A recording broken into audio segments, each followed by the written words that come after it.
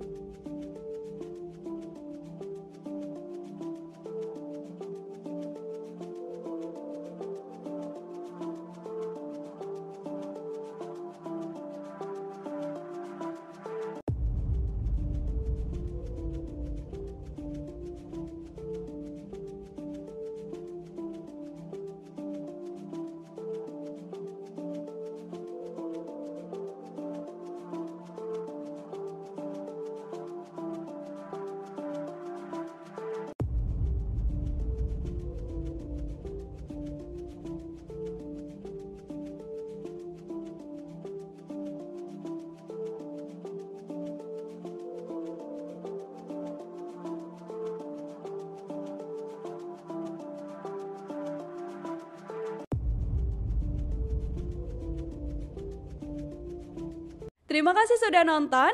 Jangan lupa like, subscribe, dan share ya.